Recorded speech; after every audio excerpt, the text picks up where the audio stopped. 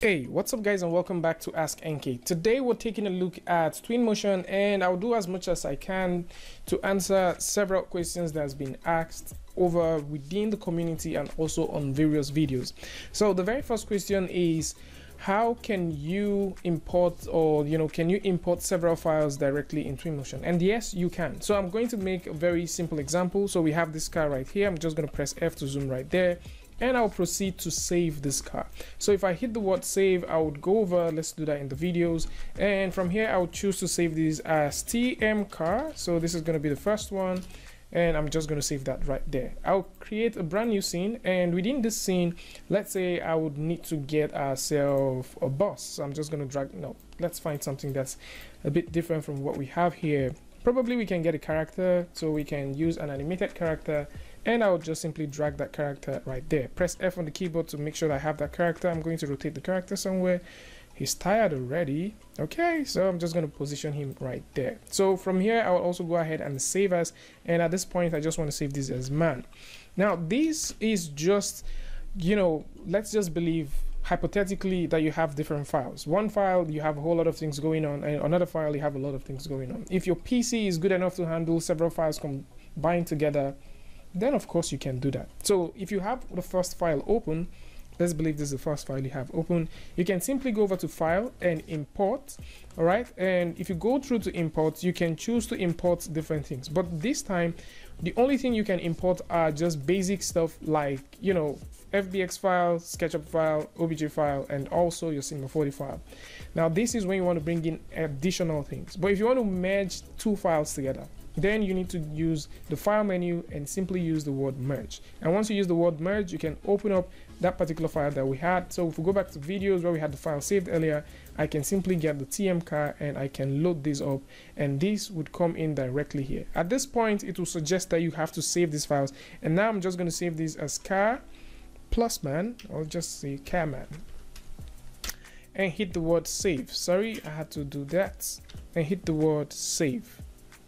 So once this is saved, you can now notice that we have the same you know the same car and we also have this other stuff right here. So if this is also what you're trying to create let's say you want to make multiple stuff of course you can. You can actually go ahead and make multiple things. And yes you can merge two files together.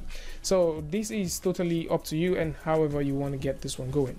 Now the next one which we're going to look at is a couple of questions that was uh, one other question that was asked. And this question is um, does uh, does Twinmotion have a fountain like Lumion? Unfortunately, Twinmotion doesn't have a fountain like Lumion, but Twinmotion does have uh, certain things that you can actually throw in. So if you go over to the object, you can find some particles and you can simply use these, you know, this sort of particle. Maybe this is also what you want. Let me just simply tone down the day just a little bit so we can see that. Let it brighten up. Okay so you can see that. Let's zoom right there. Yeah so you can if, if this is maybe something that you're looking for you can have something like this. It doesn't really have like you know a pre-designed fountain. Although you can go over on the internet download a fountain model bring this in and you can simply use this to you know give the idea that that happens and that would actually solve your problem Another question that was asked here is, hi Ask NK, okay, uh, how do I make my light not to pass through the wall? Hmm. So for this, I think what the question you're asking about has to do with the spotlight. So I remember we talked about the spotlight and the whole beautiful stuff that they've done with Arden Haze. So you know, if you kind of have this, let's also you know get another model so i'm just going to go over to object and from there get this primitive and i'm going to use a simple box. So let's use a very tiny box all right? So let's believe you have a model and your model you know is about a certain thickness. I'm just going to go ahead and scale this about this point about that point and let's flatten this down. So let's just simply let's let's hypothetically believe that this is your model right? And you have this beautiful model and you let me just position this right there. And you added maybe the spotlight. And after you added the spotlight it turns out that the that the light is passing through. And this is crazy you know but don't worry there's a fix for that. And the fix is not you raising this up. The fix is actually within the attenuation because attenuation is what you know controls how far the light travels. And you can actually see that from here. So if you start pushing the attenuation all the way up you can see the light travels a bit upwards and you can actually push the light just a little bit down. So you can push that to the point where you want it to be and you'll be having exactly the you know the feeling of light on the surface but it doesn't pass through the object. You can also choose to play with the cone angle as well so that you can get some very good feedback if this is also you know something that you're trying to work on.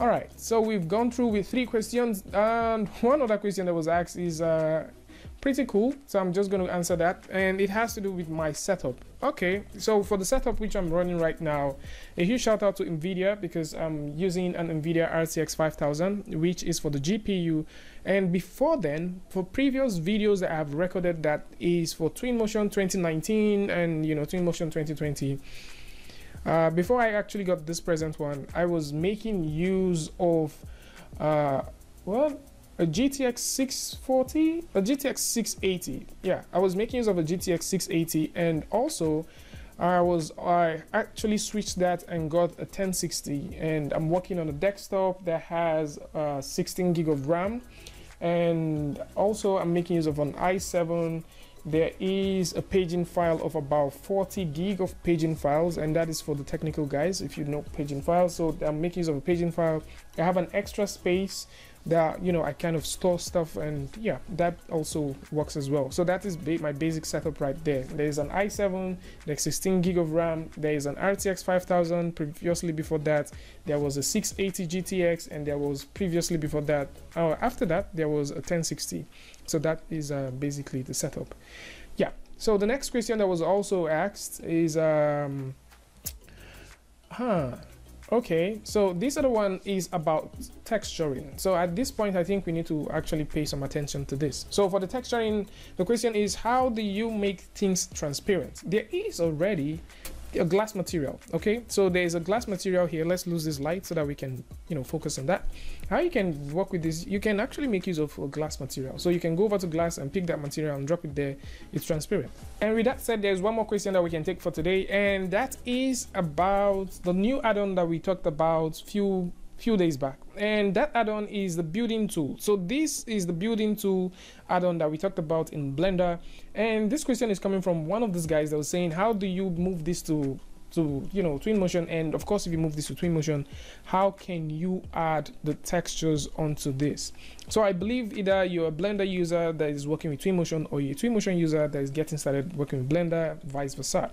So how you can do this is you can simply you know create this building yourself. Then you can add textures. You can add textures by yourself. And these textures you can choose to select certain parts by using the face selection. And then you can go over to the material and do that or you can simply use the material section right here and you can select individual parts and once you select them you can assign the material that you want from here. Now this is going to extremely help you while you're trying to get this thing up and running. Now once you're done you can always go over to file go over to where you have as export and you can choose to export this as fbx so let's believe that we've done this and this is you know like your amazing piece. And what we can do from here is to take this out of you know blender and jump back into twinmotion. So we are here in twinmotion. I would simply click on the import button and find where i saved this and i'll go ahead and import this.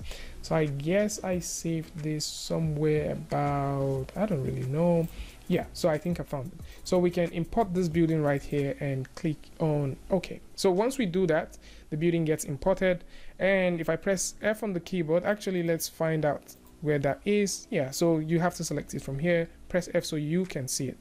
Now the reason why we gave it different materials is because Twinmotion in itself kind of assigns material based off the colors that you have. Or you can go ahead and assign materials based on individual objects so right now that we've assigned these object different materials you can now see that this object is now broken into those materials that we assign them as. I mean you can take a look at what it looks like in blender and you can see what it looks like right here so texturing this is going to be extremely easy as we can simply go over to our settings which used to be called the context and you can throw in a little bit of weather you know some clouds right there.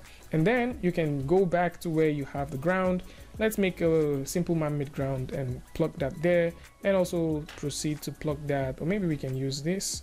Yeah so we can plug this one right there. And maybe we can also pick up that same material and plug it on the field and if you want to make variation changes you can always select this and you can play with the scale if scale is also something of importance to you. And from here you can you know select individually the parts where you want. So for the door like this I could simply select this door and jump back. Maybe we want this to be a wooden door. I can go over to the part where we have wood and simply replace this door. All right? You can drop that here as well.